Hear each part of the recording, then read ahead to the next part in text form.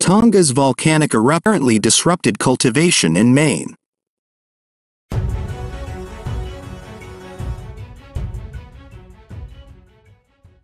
When the Tonga volcano erupted 18 months ago in the Pacific, it set off a chain of events that Maine's farmers and herders would have to deal with for at least the next few years. While climatologists aren't ready to say Maine's growing season is in permanent flux, it's becoming increasingly unpredictable.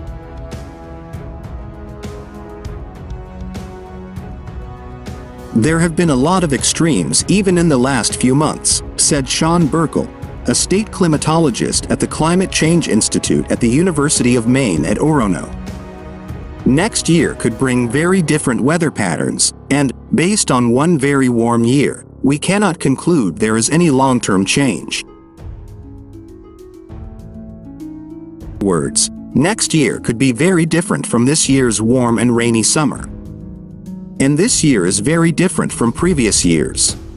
In something as dependent on the weather as growing crops, that adds a layer of uncertainty to an already unpredictable practice.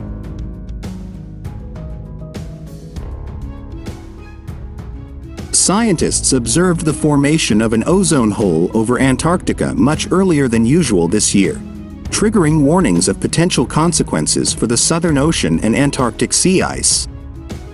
Satellite data from the European Centre for Medium-Range Weather Forecasts, ECMWF, reveals the early appearance of the ozone hole, which could become larger than average by 2023.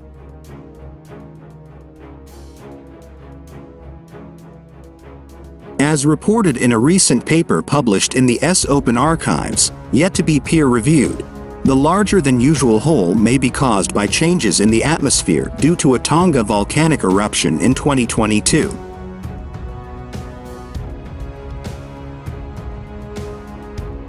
Must have been very early. We wouldn't normally expect that, said co-author Dr. Martin Jucker, lecturer at the Center for Climate Change Research at the University of New South Wales. Typically, the ozone hole begins to form towards the end of September, peaks in October and closes in November or December.